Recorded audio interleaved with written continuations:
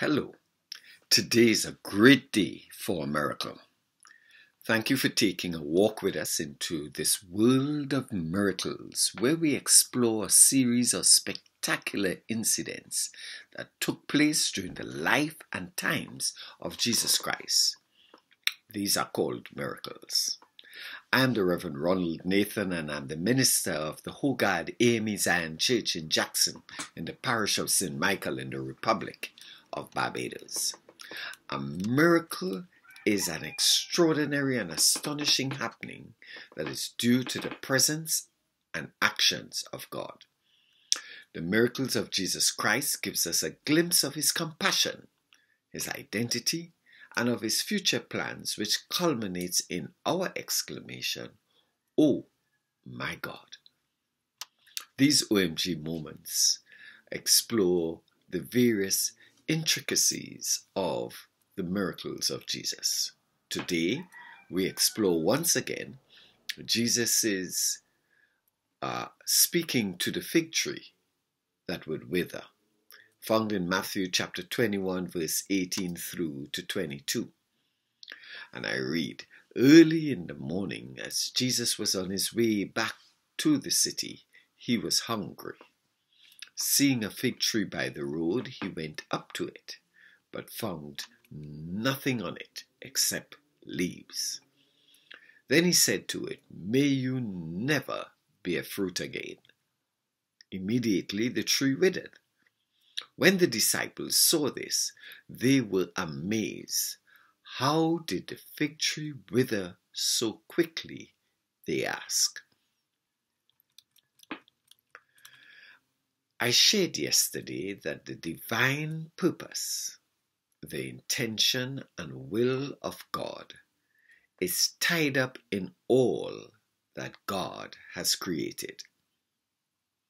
An indication of this is reflected in the words of King David in the book of Psalms. He states, The heavens declare the glory of God, and the firmament shows his handiwork. A work that was declared during creation as being good. That which was created worships by being true to its very nature. So mango trees worship by producing mangoes. Those created as human beings are expected by God to worship as those who are made in the image and likeness of God.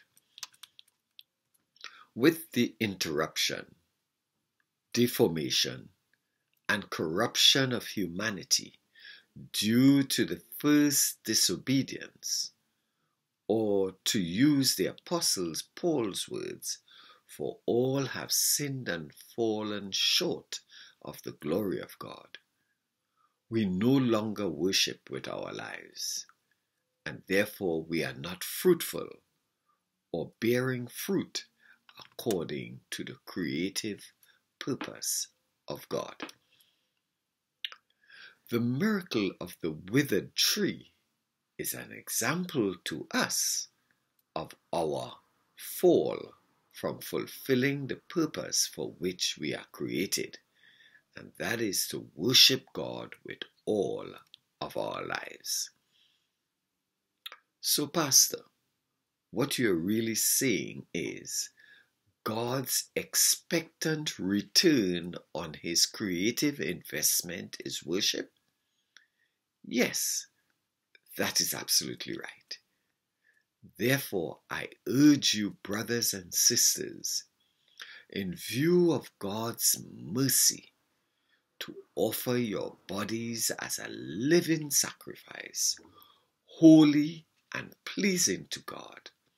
This is your true and proper worship. So says the Apostle Paul in the book of Romans and the 12th chapter so when Jesus is walking along and becomes hungry and approaches a fig tree that is full of leaves instead of figs, he is disappointed. Disappointed that the fig tree has not honored its created contract to worship with figs. Let us be fruitful in our living by giving worship to God, so that those who come upon us in the streets, at the mall, at home, even at church, would find us bearing fruit. Fruit according to the nature of righteousness, love, truth, and justice. Let them come across a juicy fruit of the Holy Spirit within us. So as they squeeze us, we will worship God. So there you have it God the Father working the extraordinary through His Son for His praise, glory, and honor. Today, God wants to be praised, glorified, and honored in our ordinary circumstances. For that is where miracles begin, when we believe Him to show up, show forth, and show off. God bless and have a great day.